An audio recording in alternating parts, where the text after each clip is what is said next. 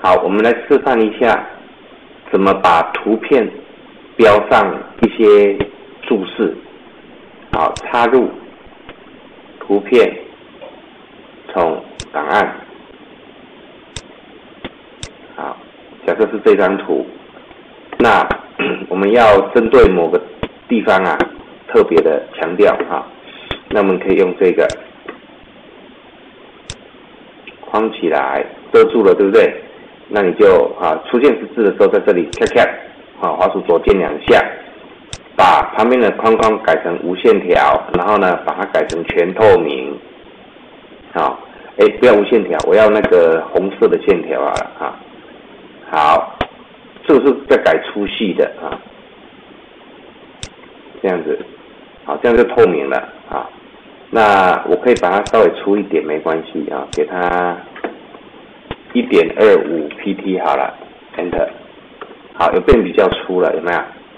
好，那我要标志一些文字，那就插入文字方块哈，水平的，哎哎，不好意思哈，这个盖住了，所以我反悔哈，反悔就 Ctrl Z，好，好在旁边点一下，来再一遍哈，插入文字方块水平的，哎，等一下啊。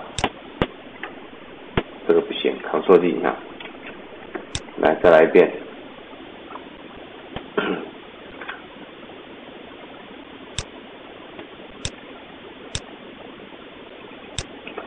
点一下相片，插入文字方块，水平，啊，哎，跑掉了。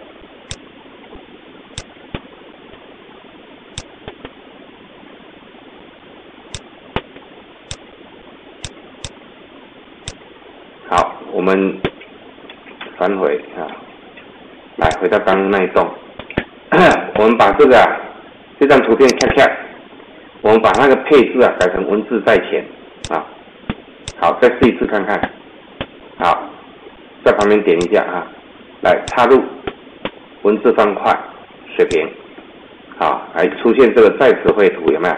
好，我们就在这里要写字的地方，好，那就写一个。啊，挂钩，好，那一样哈，这个是不透明嘛，那不行，要变成透明哈，而且框线我们也要改掉，好来，变成完全透明啊，框线呢变成无线条，啊，好，去呃对，还有这个文字方块啊，我们把它缩到最小，就是零，啊，这空白处都是零啊，好，Enter。确定哈，确定。好，你发现那个字很不明显啊，黑字很不明显，所以我们呢，啊，在这里把它换成别的颜色啊，比如红色好了哈。那字还可以调大小，在这上面调，比如十四啊，啊，粗体字啊，好，这样就好了啊。那你也可以把这个不需要那么大的框框，把它弄小一点。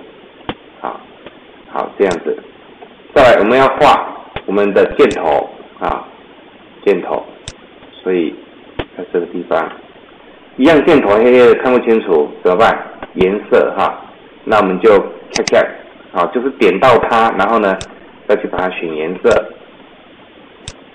好，这样就 OK 了啊，我们可以把它这个缩短一点点，好，这样，这其实是可以移动的啊，可以移动的。好，这样就是 OK 了。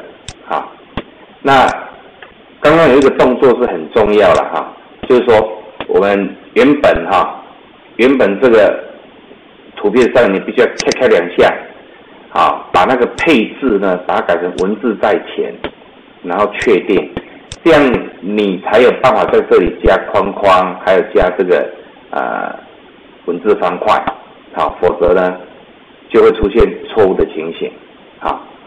这样子，那另外的话，你要编排文字的话呢，啊，这个也可以编排文字的啊。好，以上介绍完毕哈，这是加注式的情形。